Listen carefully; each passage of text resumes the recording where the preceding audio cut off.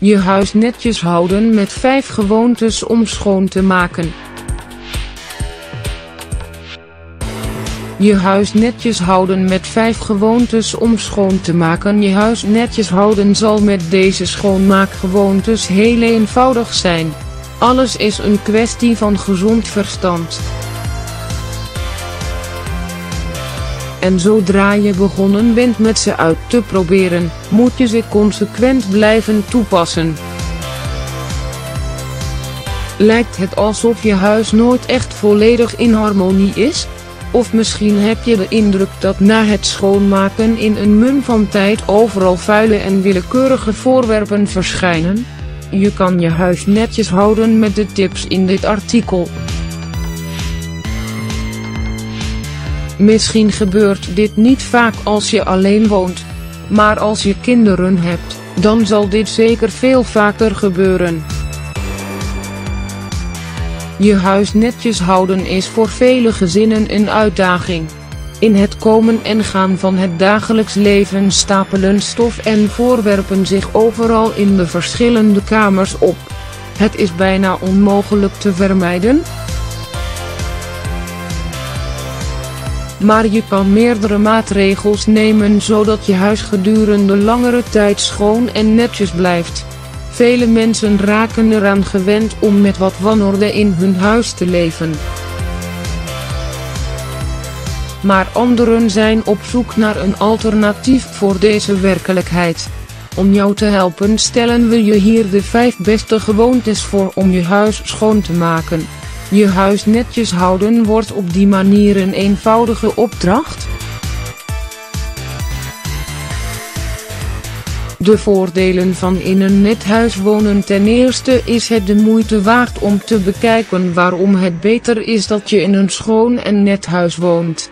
Misschien geloof je dit niet maar dit speelt een belangrijke rol in het humeur van mensen.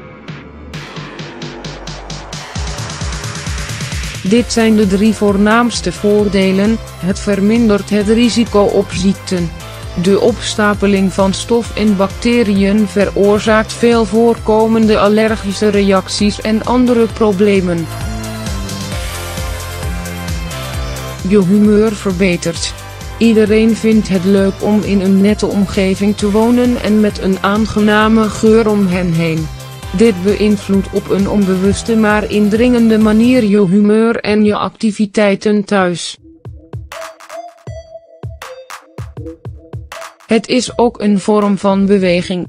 Schoonmaken verbruikt een matige hoeveelheid energie. Het is dus goed voor je lichaam. Wanneer je klaar bent, zal je je opgelucht en tevreden voelen dat je deze uitgestelde taak van je lijstje kunt schrappen. Je huis netjes houden met 5 schoonmaaktips. We bespreken nu het belangrijkste onderdeel. Hoe kan je je gewoontes veranderen en je huis netjes houden? Je zal merken dat deze eenvoudige schoonmaaktips kleine dagelijkse inspanningen vragen maar ze zullen je leven veel gemakkelijker maken. Hou de vloeren schoon als je elke dag 5 minuten vrijmaakt om de vloeren schoon te maken dan zal je merken hoe hun onderhoud veel gemakkelijker is. In plaats van stof en afval te laten opstapelen, maak je de vloeren dagelijks schoon met een natte dweil. Als dat niet nodig is, kan je ook gewoon even vegen om het vuil te verwijderen. Je kan dit dagelijks na de lunch doen. Maak de bedden op ja, we weten dat veel mensen dit haten. Maar wanneer je het bed opmaakt, dan zal je een blijvend gevoel hebben dat je kamer altijd netjes is. Je kan dit het best in de ochtend doen, nadat je opgestaan bent. Als je kan, laat dan ook de ramen een kwartier openstaan om de kamer te luchten. De lakens moet je één keer per week in heet water wassen. Vouw de kleding op of hang ze op als er iets is dat we kunnen aanwijzen dat het huis een slordige indruk geeft dan is het de kleding die overal ligt. Om dit te vermijden is het een goed idee dat je er een gewoonte van maakt om kleding direct op de goede plek te leggen. Wanneer je thuis komt, hang je je jas op. Na een douche doe je de vuile kleding in een wasmand. Als je andere kleding aantrekt om uit te gaan of te gaan slapen, leg dan de kleding voor de volgende dag op een stoel of ergens in je kleerkast. Dit zijn eenvoudige handelingen maar ze hebben een enorme visuele invloed. Maak de douche en de badkamer één keer per dag schoon. Het lijkt misschien wat overdreven om de douche na het douchen schoon te maken. Maar dit is echt doeltreffend. Je kan een doek en wat ontsmettend middel gebruiken om de wanden schoon te wrijven. Zo vermijd je dat zeep en schimmel zich opstapelen. Je kan ook na het douchen enkele minuten de tijd nemen om het toilet en de wastafel snel schoon te maken. Je zal zien dat je met heel weinig inspanning op een drastische manier de aanblik van je badkamer kan veranderen.